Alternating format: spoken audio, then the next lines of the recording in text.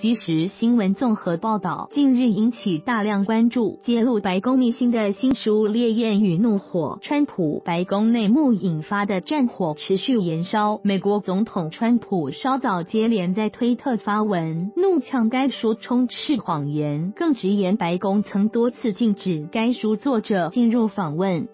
川普于台湾时间今天中午在推特发文反击，除直斥该书为充斥谎言的假书 （phony book） 外，更怒批作者取得资料的来源根本不存在。川普接着明言，自己未曾就书中内容和作者说过话，更未批准该书作者进入白宫进行访问的申请。《